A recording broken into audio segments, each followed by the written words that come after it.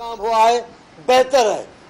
गजिश्ता बरस इतना नहीं था, इतने फंड नहीं यूज़ हुए, अभी बेहतर है, लेकिन ये नाकाफी है।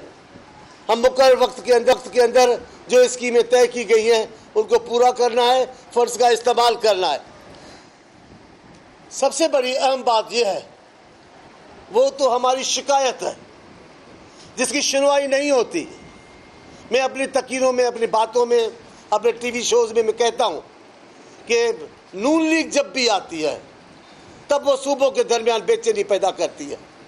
मैं मुशरफ का मुखालिफ हूँ। मैं किसी भी सूरत में मुशरफ की किसी बात की हिमायत नहीं कर सकता।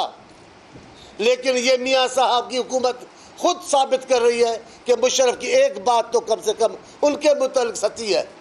मुशरफ ने जो इल्ज़ाम लगाए, उनमें एक ये था कि ये सूबों के दरमियान इख्तलाफात बढ़ा रहे थे, बदगुमानियाँ बढ़ा रहे थे। आज मियाँ साहब अपने मन से वही कर रहे हैं। छोटे सूबों का कोई मसला नहीं सुनते। मेरे वजी अला जब वजी ख़जाना थे, उनके बयान रिकॉर्ड पे हैं।